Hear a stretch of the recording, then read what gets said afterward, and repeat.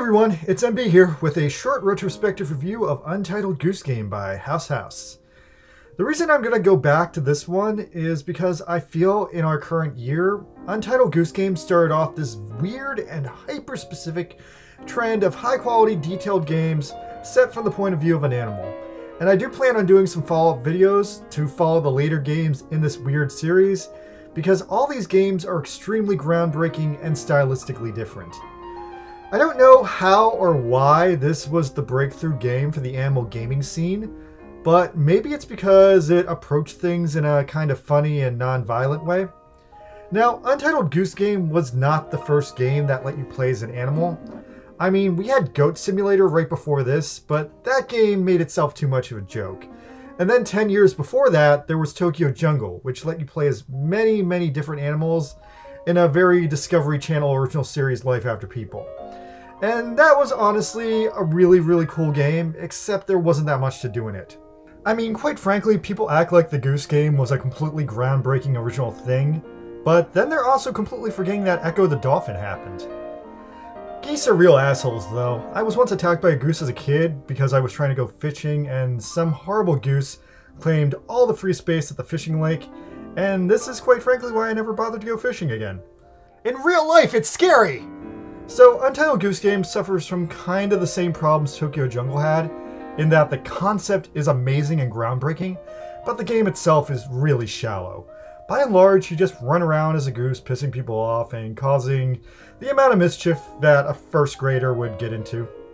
The cool thing about the Untitled Goose Game is that there is an achievement list, although it's really more of a list of cool things to do in the game. Most of the things that the list are either the start or end of a series of interesting chain of reactions, and I do think you need to complete most of this list to make progress forward in the game. People will try to prevent the goose from doing these things, but they won't outright hurt the goose, because the game has this really, really pacifistic PBS BBC vibe, and there's not really any violence. You can't really hurt anyone as the goose, and they can't really hurt you. So you're just in this really long and intense standoff to ruin these people. They put up a half-assed and confused effort to slow down your progress, but ultimately it's futile. Now the game is pretty easy. I only got stuck on one or two puzzles that required a certain amount of finesse to get through. The biggest moral quandary of the game is just trying to figure out if the goose is being shitty because the people in this toy town are shitty, or is it just because you, as the player, are a shitty person who likes to spread misery and suffering?